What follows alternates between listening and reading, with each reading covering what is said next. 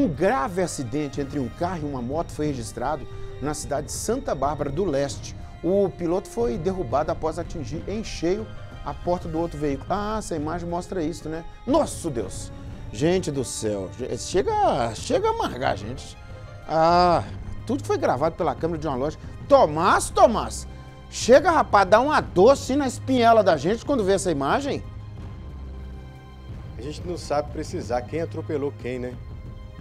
Ou o motociclista atropelou a porta, ou o proprietário do carro atropelou o motociclista com a porta. Vamos fazer uma análise básica aí. Mas isso aconteceu né, em, em Santa Bárbara do Leste. Segundo informações, essa avenida aí, a Geraldo Magela, não tem esse tipo de trânsito e também registro de acidentes assim. Foi mesmo uma desatenção desse motorista que parou. Olha lá, ele espera a moto que vem de frente a ele passar e não olha para trás. O motor, motociclista não teve nada o que fazer, né? Porque ele foi colhido pela porta, na minha opinião. Quem abre a porta sem olhar para trás é quem está errado, mas cabe discussão.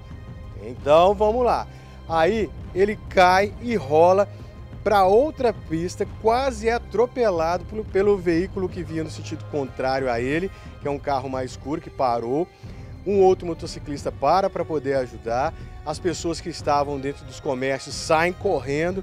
Pode ver tudo isso aí na cena. E também um caramelo, viu? Ele foi dar uma olhada lá também para ver qual é a situação. Pode observar na calçada aí, você vai ver. Esse caso, Nico, aconteceu então e foi registrado com a possibilidade dessa câmera, lógico, o, H, o gravador que fica dentro lá, né, da casa, mas a câmera mirada para o lado de fora da rua.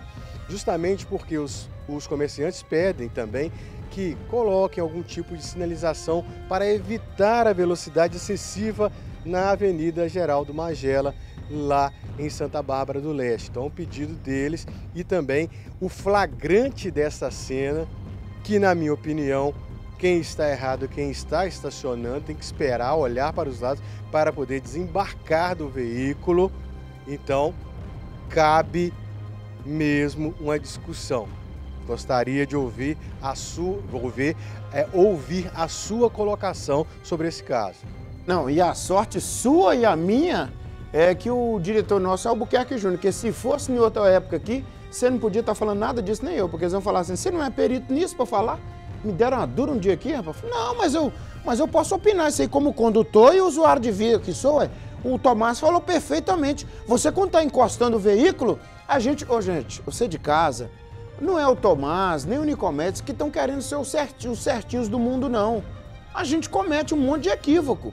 Mas à medida que a gente vai ficando mais maduro na vida e na direção de veículo, a gente vai ficando habilitado quanto a isso, né? É, por exemplo, você não pode descer do veículo abrindo a porta sem olhar no retrovisor. É, mas acontece, ô Nike. Acontece, Tomás. Às vezes a gente, nessa correria da vida, vou ali buscar. É galinha poedeira que tá escrito ali que vende? Olha lá, vou ali comprar uma galinha poedeira ali. Aí para e abre de uma vez. Aí a pessoa esquece, gente. Eu não estou colocando o motorista aqui numa condição de ser crucificado e fuzilado por ninguém, não. A imagem é só para orientar a gente, para a gente tomar um pouquinho mais de cuidado. E outra coisa, quem está vindo na motocicleta, Tomás, reduzir um pouquinho na hora que vê que a pessoa da frente encostou. Você vai falar, né, Tomás? Porque já aconteceu comigo, não estava de motocicleta, mas estava de bicicleta na Avenida Minas Gerais retornando para minha casa, uma pessoa que parou o carro próximo a um banco, abriu a porta de uma vez e eu entrei com tudo de ombro naquela, naquela parte de cima da porta, bati, caí na avenida. A pessoa quase que morreu, que ela assustou muito mais que eu e começou a tremer e suar. Eu falei, calma, calma, fica calma. Aí apareceu muita gente para poder prestar ajuda e socorro. Graças a Deus não tive ferimento em nada, foi mesmo um susto pelo impacto e a pessoa que assustou muito também.